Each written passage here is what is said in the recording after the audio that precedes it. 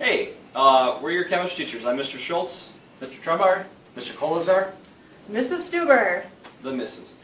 Um, we're going to do some pre-lab videos for many of the labs this year, and we just want to introduce ourselves. You'll see us kind of intermediately coming in and out of these videos, showing you what's going to come up the next day in lab. So, hi. All right, hi. Uh, today's lab, your main focus is going to be on your observation and experimental skills. Um, we have four chemicals today. We have sodium bicarbonate, we have calcium chloride, we have phenol red, and water.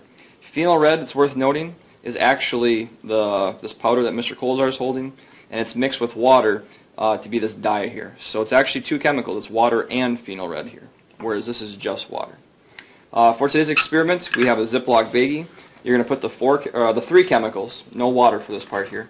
You're going to put them into separate locations in the bag, and uh, so start off by putting one in the corner, like so. Then another person in the group should section off that chemical so that when you add the next one, it's not going to mix. So put the other chemical in the other corner. Then have another group member section that off.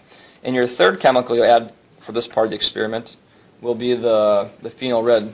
Drop with a pipette and place it right here.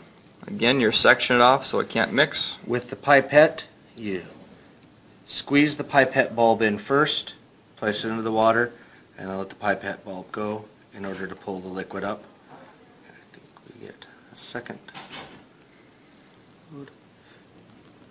Bravo. Okay, at this point here, to try to get a little bit of the air out and then zip it up, like so.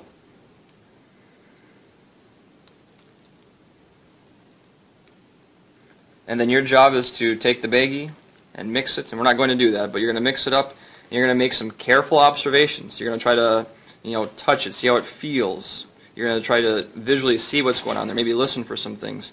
And your main goal here is observation here. That's part A. All right, welcome back. This is part two. Uh, you're really going to focus on controlled experiments for this portion of the of your experiment today.